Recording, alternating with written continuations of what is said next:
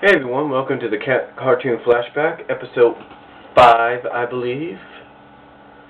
And in the previous episodes I have talked about TaleSpin, I have talked about Sonic, I have talked about Rescue Rangers, and I have talked about Transformers. Now, for the fifth episode, I want to talk about a show that ran from the late 70s to the early 80s. It was sort of a parody, if you will, sort of a parody slash satire on the Olympics and what is the show I'm talking about? Well, none other than Laugh Olympics. Formerly known as Scooby-Doo's Laff-A-Lympics, or Scooby-Doo's All-Star Laff-A-Lympics. The reason for that was back in 1977 when it first debuted, it debuted as part of a two-hour block. And within these two-hour blocks, you had the Laff-A-Lympics show at the beginning, inning, and you had three, maybe two cartoons in between. In other words, you actually did have two, three. You actually had three cartoons in between, because you had the first 15 minutes of Laff-A-Lympics, and then the next, I'd say, hour and a half almost, a hour, if you will, was dedicated to shows like Captain Caveman and the Teen Angels, uh, Scooby Doo, and I believe Dynomutt and Blue Falcon. Those are the shows that they were dedicated to. Now, what you wonder why those shows were part of this block. Well, it's real simple.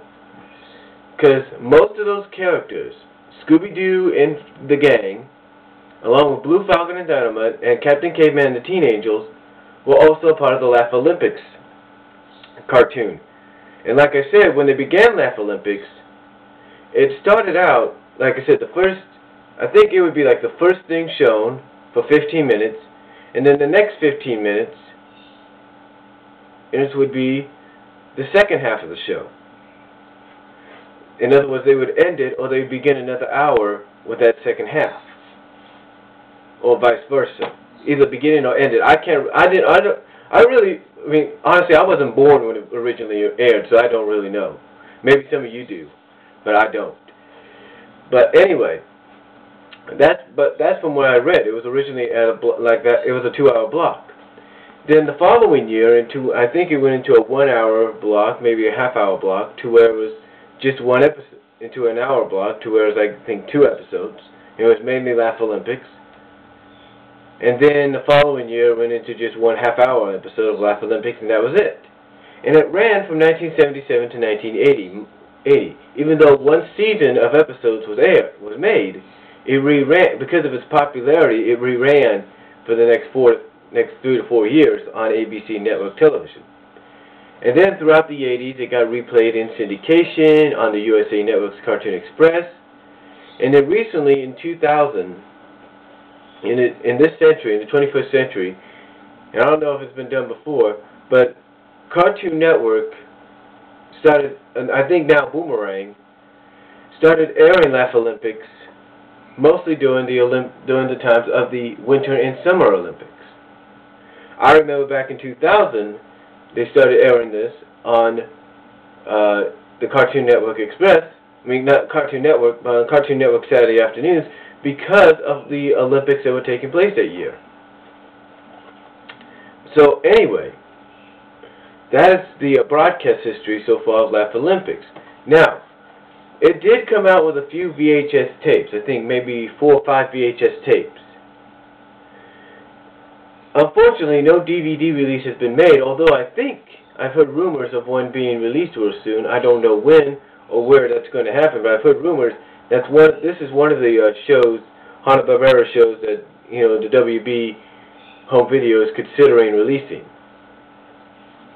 Now, like I said, it was a parody slash satire of the of the Olympics itself, of the Olympics itself.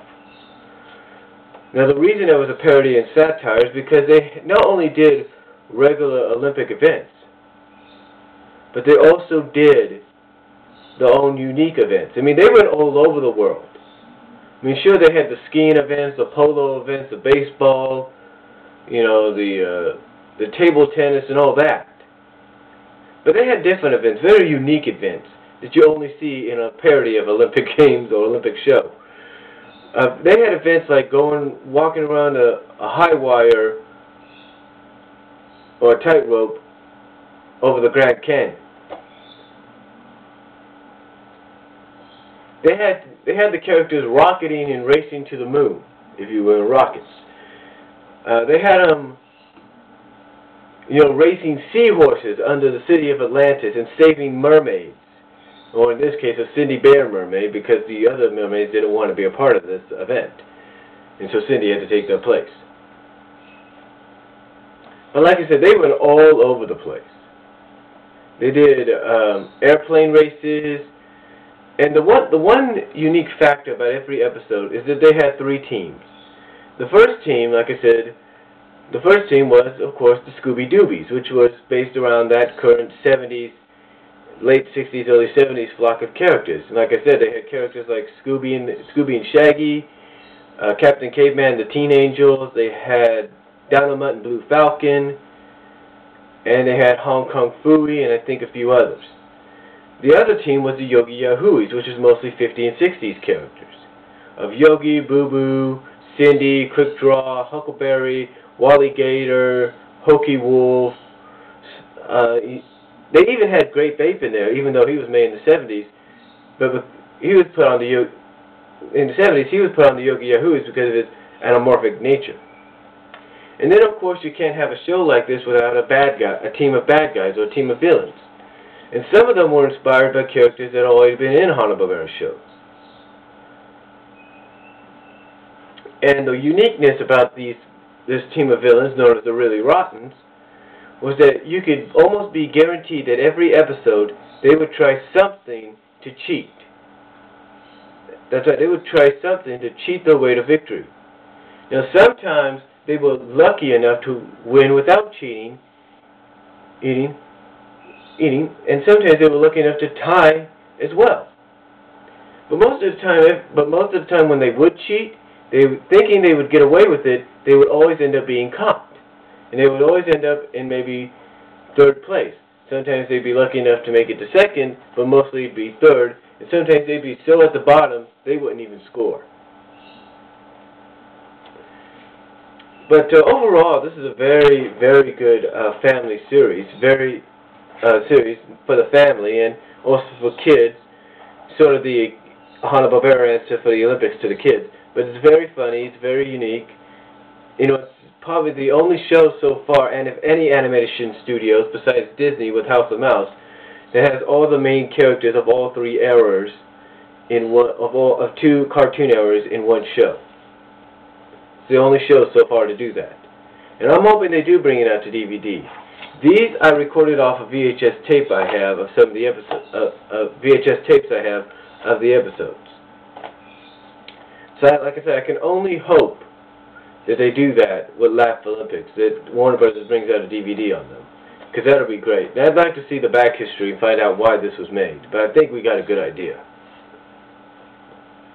But uh, that's all I could say on the cartoon flashback, episode 5 of Laff-A-Lympics.